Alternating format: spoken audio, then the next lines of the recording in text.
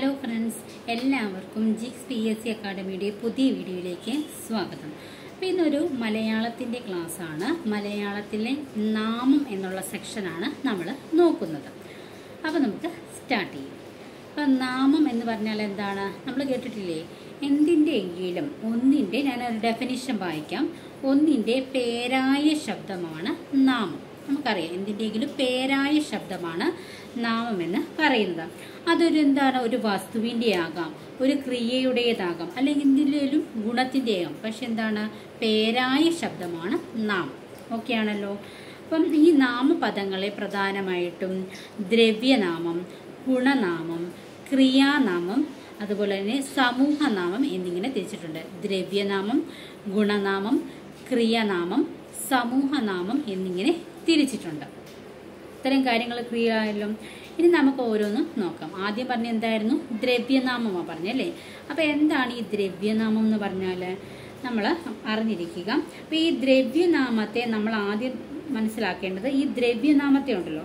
അപ്പം അതിനെ നമ്മൾ പ്രധാനമായിട്ടും സഞ്ചാനാമം സാമാന്യനാമം സർവനാമം മേയനാമം എന്നിങ്ങനെയൊക്കെ തിരിച്ചിട്ടുണ്ട്. ഓക്കെ. അപ്പം അത് ഓരോന്നും മനസ്സിൽ പറയുമ്പോൾ നിങ്ങൾക്ക് എന്താണ് ദ്രവ്യനാമം എന്നുള്ള കാര്യങ്ങളൊക്കെ തന്നെ ക്ലിയർ ആക്കും. ഇപ്പം ദ്രവ്യനാമം എന്തെങ്കിലും ഒരു ദ്രവ്യത്തിന്റെ നാമത്തെയാണ് സൂചിപ്പിക്കുന്നത്. ഇപ്പം സഞ്ചാനാമം എന്ന് പറഞ്ഞാൽ ഒരു പ്രത്യേക വ്യക്തിയുടെയോ വസ്തുവിന്റെയോ സ്ഥലത്തിന് ഒരു പ്രത്യേക വ്യക്തിയാകാം. വസ്തുവാകാം. സ്ഥലത്തിന്റെയോ എന്താണ് ശ പേരായ ശബ്ദമാണെന്ത് നമ്മൾ പറയുന്നത്? സഞ്ചാനാമം എന്ന് പറയുന്നത്. അതിന് എക്സാമ്പിളായിട്ട് ഇപ്പോൾ പേരായ ശബ്ദം നമ്മൾ ഇന്ത്യ ഒരു വ്യക്തിയുടെ നെയ്മാന്ന് പറഞ്ഞു ഇന്ദിരാഗാന്ധി മല്ലിക മഞ്ജുള അങ്ങനെയുള്ള പേരുകൾ. പിന്നെ അതുപോലെ തന്നെ ഒരു വസ്തു അല്ലെങ്കിൽ ഒരു സ്ഥലം. ഇപ്പോൾ വസ്തു പറയുകയാണെങ്കിൽ എന്ത് പറയാം? മേശ കസേര മൊബൈൽ ഇതൊക്കെ വസ്തുവാണ് അല്ലേ? പിന്നെ അതുപോലെ നമ്മുടെ ഹിമാലയം ഇങ്ങനെയുള്ള ഒരു കാര്യങ്ങളെല്ലാം പറയുന്ന പേരെന്താണ്? സഞ്ചാനാമം എന്നാണ് പറയുന്നത്.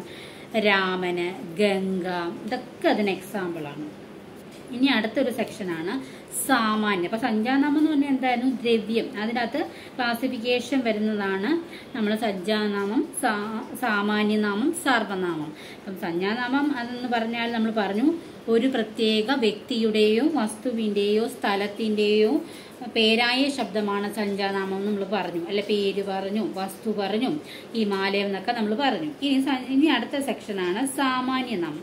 സാമാന്യനാമം എന്ന് പറഞ്ഞാൽ ഒരു കൂട്ടം വ്യക്തികൾക്കോ വസ്തുക്കൾക്കോ സ്ഥലങ്ങൾ ഒരു കൂട്ടം വ്യക്തികൾക്കോ വസ്തുക്കൾക്കോ സ്ഥലങ്ങൾക്കോ പൊതുവായിട്ട് പറയുന്ന നാമമാണ് എന്ത് സഞ്ചാനാമല്ല സാമാന്യനാമം. തെറ്റിപ്പോകല്ലേ കേട്ടോ? ഓക്കെ.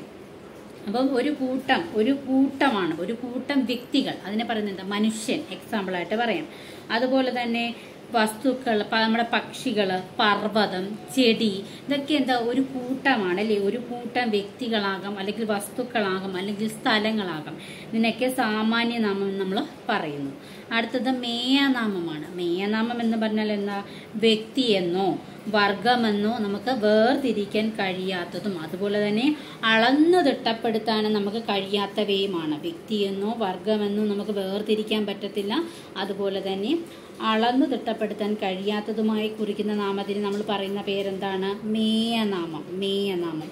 മഞ്ഞ് ഇരുട്ട് വായു പാൽ ആകാശം വെയിലൊക്കെ എന്താണ് ഇതിന് എക്സാമ്പിൾ ഇതിന് എക്സാമ്പിളാ മേയനാമം. മേയനാമം എന്ന് പറഞ്ഞാൽ എന്തായിരുന്നു? വ്യക്തിയെന്നോ വർഗമെന്നോ നമുക്ക് വേർതിരിക്കാൻ പറ്റത്തില്ല. അതുപോലെ തന്നെ എന്താ? നമുക്ക് അളന്ന് തിട്ടപ്പെടുത്താൻ സാധിക്കില്ല. വായു നമുക്ക് അളന്ന് തിട്ടാൻ പ- പറ്റുമോ ഇല്ല. വെള്ളം. നമുക്ക് അളന്ന് തിട്ടപ്പെടുത്താൻ പറ്റുമോ? ഇല്ല. ഇതൊക്കെ എന്താണ്? മേയനാമമാണ്. ഇനി സർവനാമം എന്ന് പറഞ്ഞാൽ നമ്മൾ നാമം എന്ന് പറഞ്ഞു. പേരായ ശബ്ദമാണ് അല്ലേ? നാമത്തിന് പകരം ഉപയോഗിക്കുന്ന നാമതുല്യമായ പദമാണെന്ത്? സർവനാമം. നാമത്തിന് പകരം ഉപയോഗിക്കുന്ന നാമത്തിന് പകരം ഉപയോഗിക്കുന്ന നാമതുല്യമായ പദമാണ്. അല്ലേ? നമ്മൾ പറയത്തില്ലേ? നീ അവൻ അങ്ങനെയുള്ള കാര്യങ്ങളൊക്കെ. ഈ സർവനാമത്തെ പ്രധാനമായിട്ടും ഉത്തമ പുരുഷൻ മധ്യമ പുരുഷൻ പ്രഥമ പുരുഷൻ എന്നൊക്കെ തിരിച്ചിട്ടുണ്ട്. ഇപ്പം നമ്മുടെ വക്താവ് വക്താവ് എന്ന് പറഞ്ഞാൽ എന്താ? പറയുന്ന ആൾ അതിന് പറയുന്നതാണ് വക്താവ്. അപ്പം ഉത്തമ പുരുഷൻ എന്ന് പറഞ്ഞാൽ വക്താവിന് പകരം ഉപയോഗിക്കുന്ന ആണ് ഉത്തമ പുരുഷ നാമം നമ്മൾ പറയുന്നത് സർവനാമം. മധ്യമ പുരുഷൻ എന്ന് പറഞ്ഞാൽ എന്താ? വക്താവ് എന്ന് പറഞ്ഞാൽ പറയുന്ന ആൾ അത് കേൾക്കുന്ന ആളാണ് ശ്രോതാവ്. ശ്രോതാവ് വരുന്നത് പ്രഥമ പുരുഷനാണ്. ഇവർക്ക് രണ്ടിനും ഇടയ്ക്കുള്ള ഒരു മീഡിയേറ്റർ ഉള്ളതാണ് മധ്യമ പുരുഷൻ. അപ്പം ഉത്തമ പുരുഷന്റെ സെക്ഷനിലാണ് ഞങ്ങൾ ഞാൻ നാം എന്നൊക്കെ ഉള്ളത് വരുന്നത്. മധ്യമ അകത്താണ് നീ നിങ്ങൾ താങ്കൾ എന്നൊക്കെ വരുന്നത്. പ്രഥമ പുരുഷനിൽ അവൻ അവൾ അവർ അദ്ദേഹം അവ എന്നിങ്ങനെയൊക്കെ വരുന്നു. സമൂഹനാമം. സമൂഹനാമം എന്ന് പറഞ്ഞാൽ ആ പേരിൽ തന്നെയുണ്ട്. ഒരു കൂട്ടം. ഒരു സമൂഹത്തെ അല്ലെങ്കിൽ കൂട്ടത്തെ കുറിക്കുന്ന പദമാണെന്ത്? സമൂഹനാമം എന്ന് പറയുന്നത്. ഗണം ജാഥ അതുപോലെ തന്നെ പട സഭ പിന്നെ കുല കദംബം പടൽ അങ്ങനെയുള്ള ഇതെല്ലാം തന്നെ എന്താണ് സമൂഹനാമങ്ങളാണ് ഇനി ക്രിയാനാമം എന്ന് പറഞ്ഞാൽ ക്രിയ. ക്രിയ എന്ന് പറഞ്ഞാൽ എന്തെങ്കിലും ഒരു ക്രിയ. അതിൽ നിന്നും ഉണ്ടാകുന്നതാണ് ക്രിയാനാമം ഇപ്പം ചാടുക എന്ന ക്രിയയിൽ ഉണ്ടാകുന്ന അതിലെ ക്രിയാനാമമാണ് ചാട്ടം. ഓടുക എന്ന ക്രിയയിലുള്ളതാണ് ക്രിയാനാമമാണ് ഓട്ടം. കേൾക്കുക എന്ന ക്രിയാനാമത്തിലുള്ളതാണ് കേൾവി എന്ന് പറയുന്നത്. ഇനി ഗുണനാമം എന്ന് പറഞ്ഞാൽ ഗുണം. പേരിൽ തന്നെ ഉണ്ട്. എന്തായിരുന്നു? ഒരു വസ്തുവിന്റെ ഗുണത്തെയോ സ്വഭാവത്തെയോ നിറത്തെയോ കുറിക്കുന്ന നാമമാണ് ഗുണനാമം. ഒരു വസ്തുവിന്റെ ഗുണത്തെയോ സ്വഭാവത്തെയോ നിറത്തെയോ കുറിക്കുന്നതാണ് ഗുണനാമം. ഇപ്പോൾ എക്സാമ്പിളായിട്ട് മിടുക്ക് തന്റെ ഇടം പിന്നെ നമ്മൾ പറയത്തില്ല വെളുപ്പ് കറുപ്പ് മാധുര്യം അവന് ഭയങ്കര ധൈര്യമുണ്ട്. അതൊക്കെ എന്താ ഒരു ഗുണമാണ് അല്ലേ? ഒരു വസ്തുവിന്റെ ഗുണമാകാം അല്ലെങ്കിൽ എന്താ സ്വഭാവത്തിന്റെ ആകാം അല്ലെങ്കിൽ നിറത്തിന്റെയൊക്കെ കുറിക്കുന്ന പദമാണെന്ത്? ഗുണനാമം എന്ന് പറയുന്നത്. അപ്പം എന്തൊക്കെ കാര്യങ്ങളാണ് നമ്മൾ പഠിച്ചത്? നാമം എന്ന് പറഞ്ഞാൽ എന്താ? ഒന്നിന്റെ പേരായ ശബ്ദമാണ് നാമം നമ്മൾ പറഞ്ഞു. അതൊരു വസ്തുവിന്റെയോ ക്രിയയുടെയോ ഗുണത്തിന്റെയോ പേരാകാം എന്ന് പറഞ്ഞു. നാമപദങ്ങളെ പ്രധാനമായിട്ടും ദ്രവ്യനാമം ഗുണനാമം ക്രിയാനാമം എന്നിങ്ങനെ തിരിച്ചിട്ടുണ്ട്. ഈ ദ്രവ്യനാമത്തെ സഞ്ജാനാമമെന്നും സാമാന്യനാമമെന്നും സർവനാമമെന്നും മേനാമമെന്നും തിരിച്ചിട്ടുണ്ട്.